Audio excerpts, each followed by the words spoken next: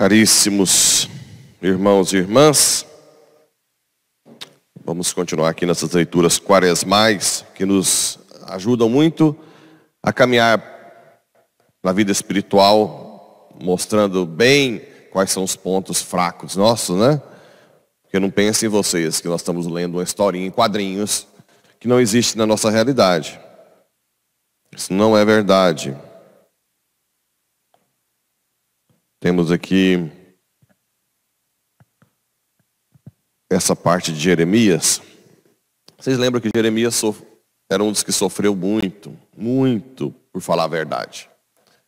No início ele era relutava para não falar pelas consequências que tinha, mas depois sempre cumpria, cumpria o que Deus mandava.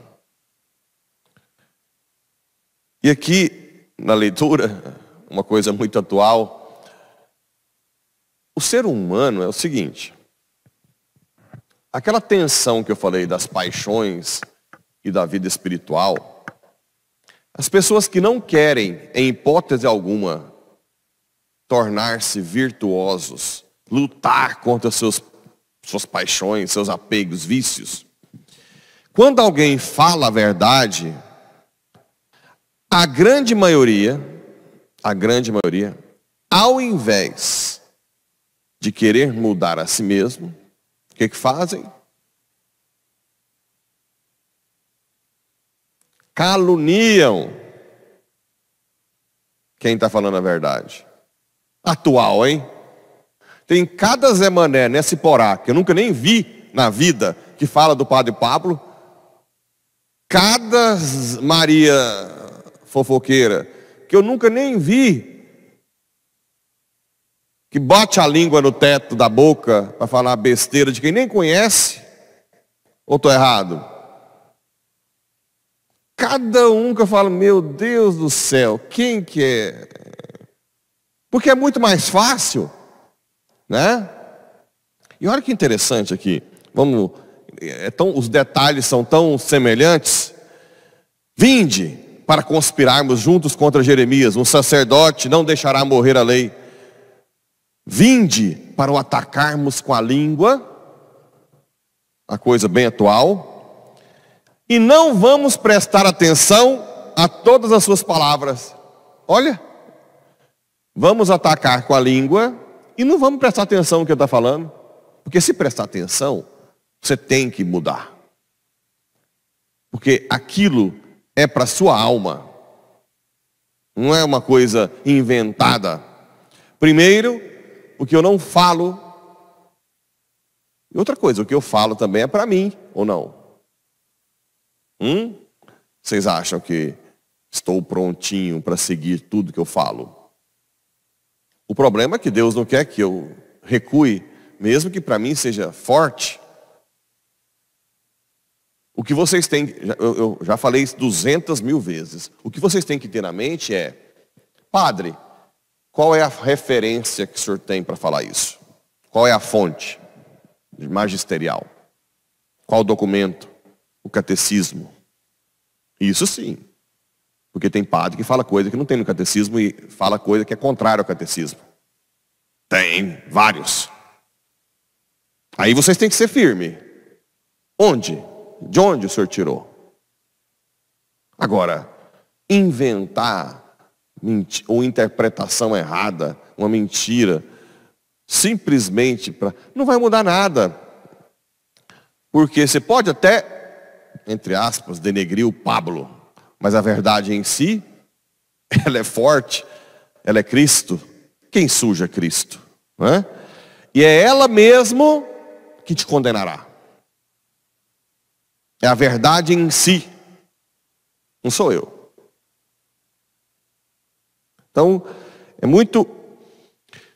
Parece algo dos séculos passados, mas isso é muito atual. Isso acontece em tudo, na verdade. Se você for ver no dia a dia, acontece na igreja, quando chega alguém que destaca, quando alguém é querido, quando alguém fala bem, as que está amassando barra a igreja que não quer converter 200 anos, começa a sentir, a falar mal daquela pessoa. Você não está vendo aquele defeito que ela tem?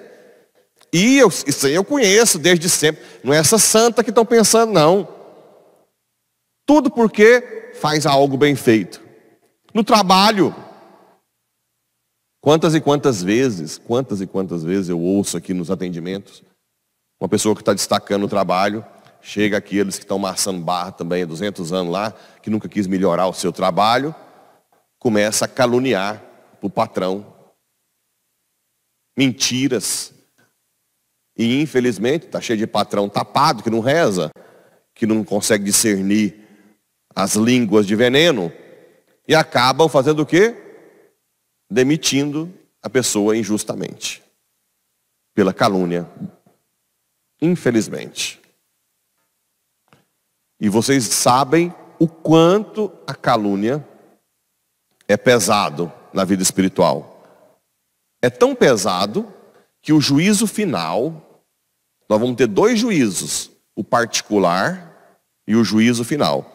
Um dos motivos do juízo final é restabelecer a justiça aos caluniados. E também aqueles que morrem boa fama e, e fizeram muita besteira, né? Olha o tanto que é grave. Nós vamos ter um outro juízo social para botar as claras aquilo que a sua linguinha mentiu. A sua não, né?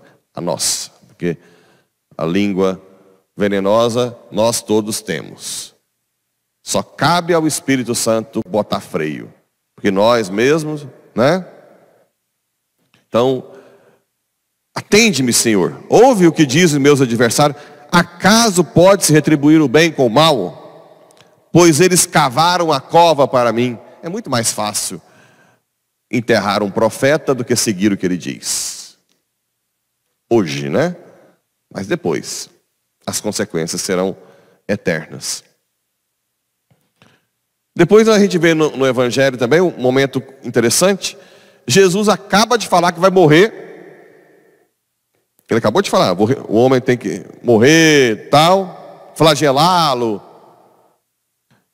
E as mães, os filhos de Zebedeu, Tiago e João, aproximam-se e pede para os filhos ficar nos melhores lugares, à direita e à esquerda de Jesus. Aqui entra um pouco, que ela nem ouviu direito que Jesus falou, né? Já estava tão pensando para os filhos ficarem nos primeiros lugares. Ele acabou de falar que vai morrer, ao invés de, pelo menos da hipocrisia, falar, não, Senhor, o Senhor não vai morrer.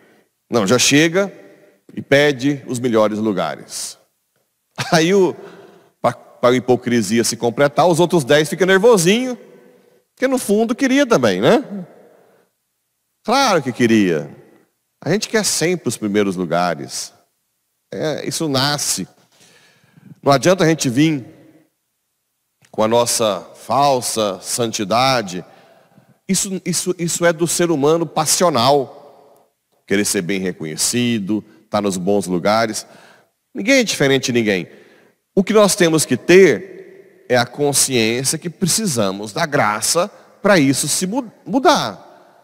Que nós somos dependentes da graça. Senhor, se o Senhor não me der a graça, eu vou sempre ficar com invejinha, com, com fofoquinha da fulano de tal.